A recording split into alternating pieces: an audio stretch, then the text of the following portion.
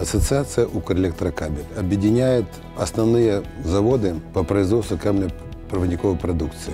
В 2016 году электротехническая промышленность, а э, это кабельная продукция, мы заняли седьмое место по рост- росту экспорта в течение последних лет и продолжаем, беря кредиты валютные, вот, закупаем э, совершенно новые современные технологии для того, чтобы соответствовать всем мировым стандартам. Есть очень много законов, которые очень сильно мешают, даже где-то просто направлены на уничтожение предприятий. Наконец-то в декабре 7 числа э, мы увидели м, свет в конце тоннеля. Первые э, законы, которые нам дали возможность поверить, что это только начало. Продлили все-таки каникулы на 24 месяца при закупке новых технологий, нового оборудования, которое не производится у нас в стране. Технологии нужно менять, оборудование нужно завозить на сотни миллионов долларов, и в это время нужно платить сумасшедшие сотни миллионов долларов в виде налогов, в виде кредитования государства, в виде НДС при растамаживании оборудования, в виде таможенных пошлин. Слава Богу, 7 числа мы получили первый закон о том, что на 24 месяца есть уже отстрочка возврата, отстрочка оплаты НДС при растамаживании оборудования.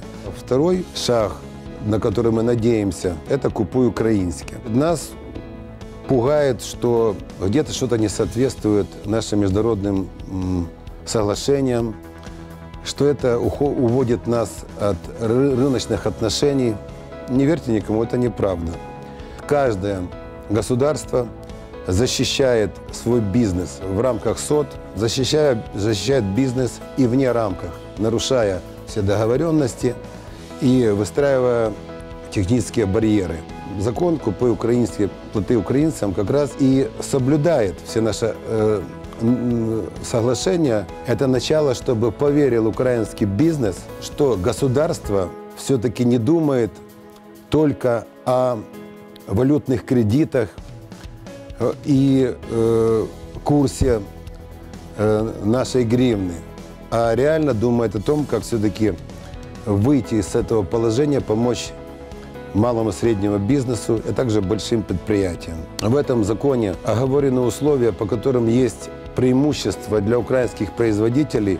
Они совершенно минимальны, но они направлены для того, чтобы деньги оставались в стране, чтобы рабочие места не уходили за рубеж, чтобы не кормили мы своих конкурентов, чтобы мы не кормили другие страны, чтобы мы наполняли свой бюджет.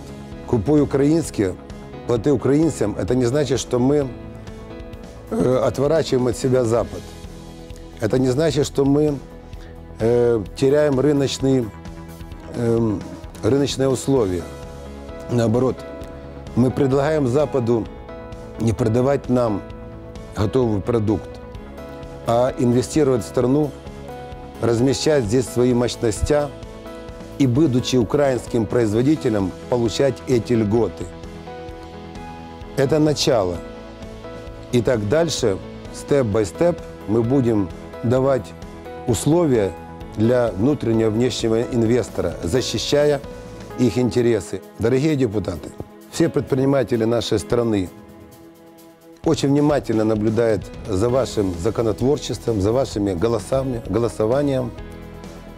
И мы будем делать вывод, кто за нашу страну, кто против нее, кто за развитие экономики Украины, кто против развития экономики Украины, кто за украинский бизнес, кто против него, кто за украинский народ, кто против него.